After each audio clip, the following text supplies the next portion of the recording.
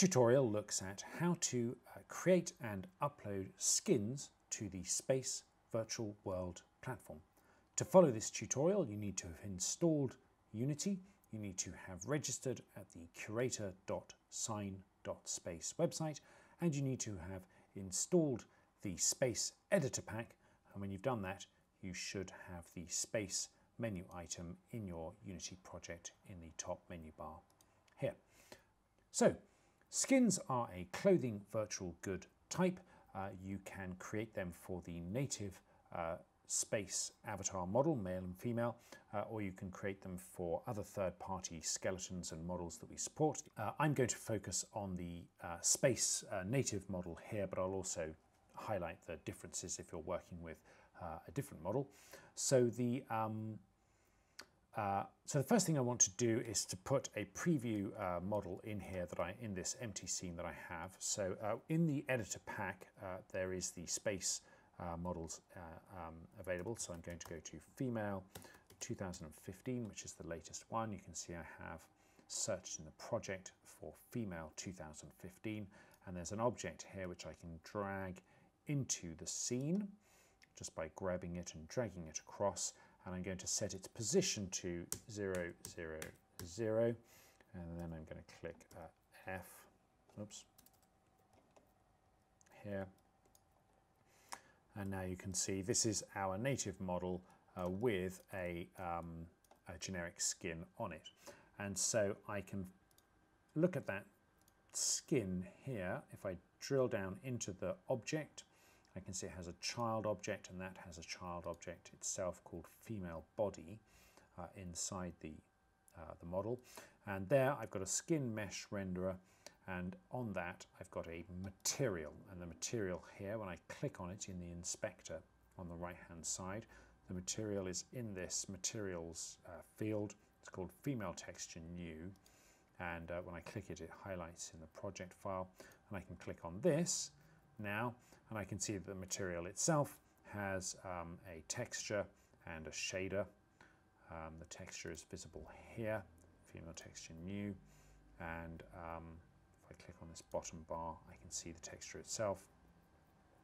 Uh, and so this texture is a 2048 by 2048 um, uh, uh, file. If I right click on the object in the project uh, window here, I can actually see it in Explorer and I can see it's a Photoshop file and I can actually open it in Photoshop and see that it is a um, uh, uh, an editable object. So I can paint over this or I can recolor it, I can add whatever details I want to, um, or I can just use it as a template to start uh, afresh doing my own uh, completely original work.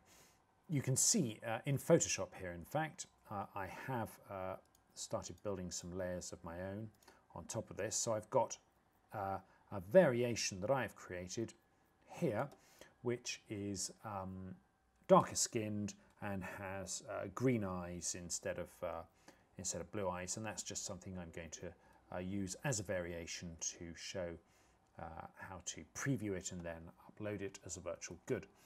I've got my own folder here called skin in a folder that I've created and I've got a skin called female skin and this is that slightly darker uh, one with green eyes. And um, uh, when you import it, it will probably default to a um, compressed setting, uh, but you can come in and manually choose uh, what compression you want Unity to use, you want us to use when this is submitted to the virtual world. I'm going to use 16-bit because I want uh, uh, the, to retain as much of the quality as this, of this as I can. And so now what I want to do is uh, attach that to a material and then I will be attaching that material to a virtual good component. So hovering over my folder here, I'm going to right click and I'm going to create a material here. Uh, and I'm going to name this um, suede female skin because that's what I think it looks like. And uh, you can see here, by default, uh, the material is Unity's standard shader. Now, when you're creating skins in for the Space Virtual World, you can use whatever shaders you want. You can write your own shaders. Uh, you can use the um, sta standard Unity ones. You can use custom ones that you buy from the uh, asset store or other creators. Um, but going back to this um, original one, here you can see we're actually using a specific shader called Sinewave Skin Unified Clothing and Skin. So I'm going to start off with that, which is a custom shader we have written uh, that you can draw on, and it's a good place um, to start. So I'm going to change this in the new material that I've created away from standard in the inspector. I'm going to move away from standard down to Sinewave, Skin, Unified Clothing, Skin, and you can see this is uh, a shader that we've created that has a load of very specific um, uh, settings, which hopefully will allow you to do really uh, precise work trying to get whatever naturalistic or slightly um, um, uh, designed uh, skin look and feel that you want. So the first thing I'm going to do is drag my texture into there. And then if I wanted to, I could um, add a specular map, a normal map.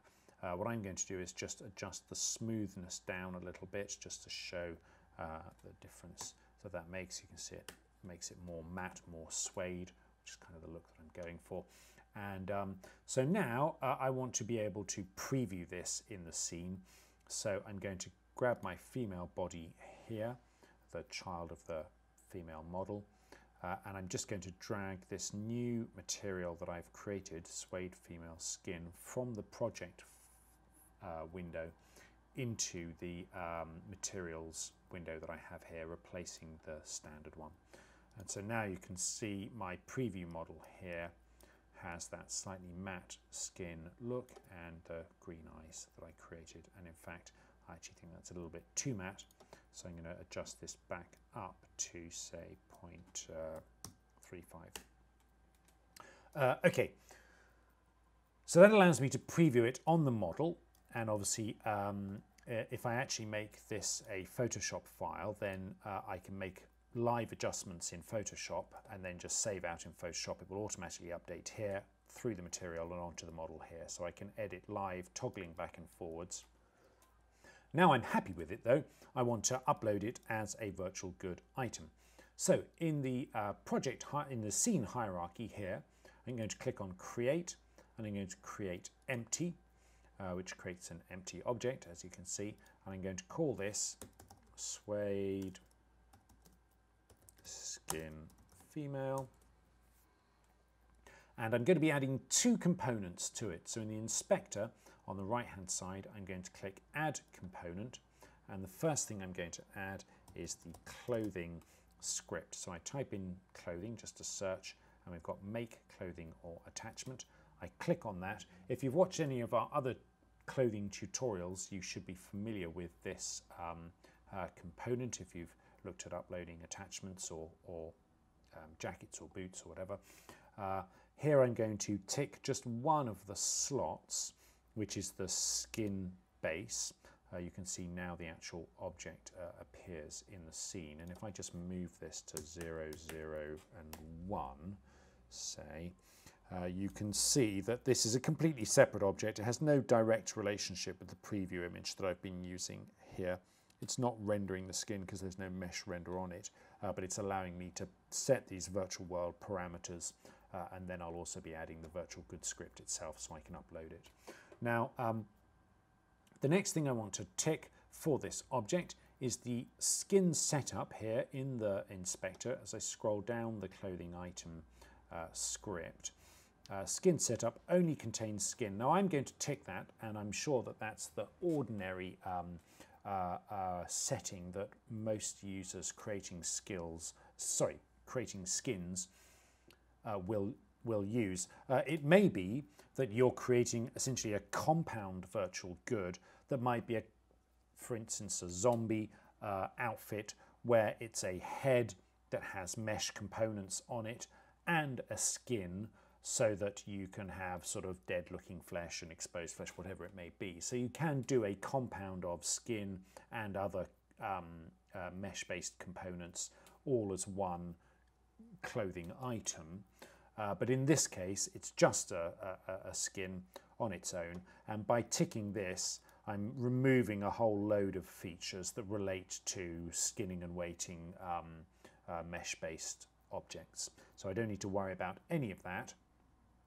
All I need to do is attach the material uh, that you saw me create uh, to this and I attach that in the replacement skin uh, section here at the bottom of the uh, at the bottom of the component and uh, I do that by saying uh, a number in here. Now those of you who are familiar with other platforms you might know that the OpenSim um, model for example, has three textures that you use to, um, uh, to build the full body skin. So if I was using the OpenSim model, I'd put three in here, and you can see that creates three elements, and I'd be dragging the head uh, texture here, the body texture here, and the leg texture here.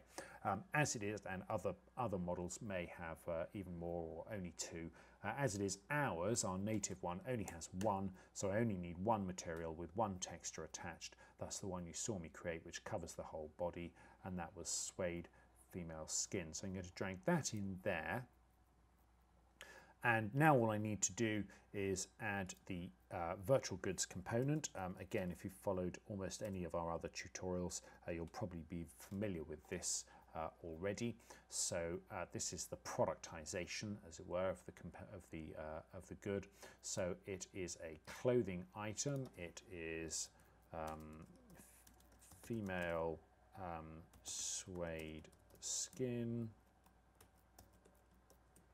Uh, the brand uh, is just ours. Um, remember, you can use this brand uh, field here to, to, to, separate out different uh, collections of virtual goods. And then if you watch our vending machine tutorials, you'll see that there's a particular type of vending machine you can put in your region.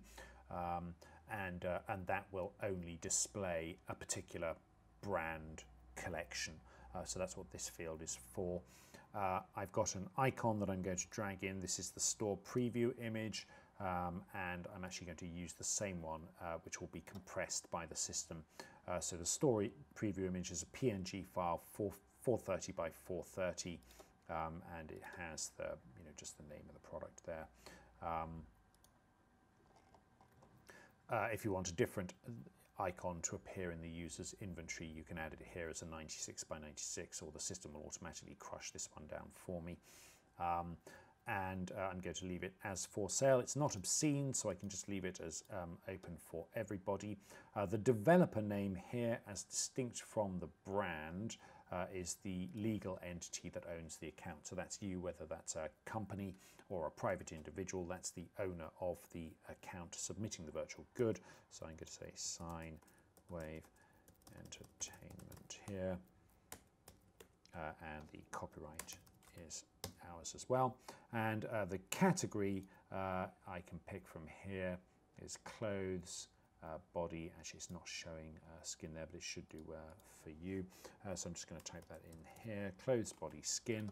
And so that is now ready for me to submit. Um, the, uh, the submission button is grayed out because as with other tutorials, I'm still uh, editing a version in the scene hierarchy here. Uh, all I need to do is drag this object into the project. So I'm grabbing the object, click and hold from the scene hierarchy here and dragging it across into a folder in the project uh, uh, window here. And now you can see I have the same settings all uh, applied and the submit button is live. So I press submit and click to upload the item and because it's uh, relatively small it should spin through pretty quickly um, we'll see it's uh, only 3 meg and it's uploading very fast. So that will only take a couple of minutes to process on the server. Then I should get an email telling me that it's available for me to view in World. So I go to the creator.sine.space uh, website and log in with my account. It will be in my inventory and I can also see it in the store as it will be previewed. And then at curator.sine.space, I can click the submit button to push it to the live servers uh, to go on sale uh, before I show you the results in World, I'll also very quickly just touch upon some alternatives, uh, thinking about other shaders. So, um, so that uh, um, custom shader that we have created, which you can play with here, and all these settings you can um, modify in the, uh, you, you can see the, the um, documentation for on the wiki. Um, uh, specific details on these, uh, but this is really something we've designed for trying to get a realistic uh, skin tone, that uh, you know the, the appropriate level of shininess and uh, and and, um, and glow. Uh, obviously, you may want to do fantastical stuff, science fiction or fantasy based stuff, and so if you're doing that, uh, you can do really anything you want. There's no limit to the shaders that you can use. You can, as I say, you can write your own, you can create holographic shaders, you can create highly metallic shaders.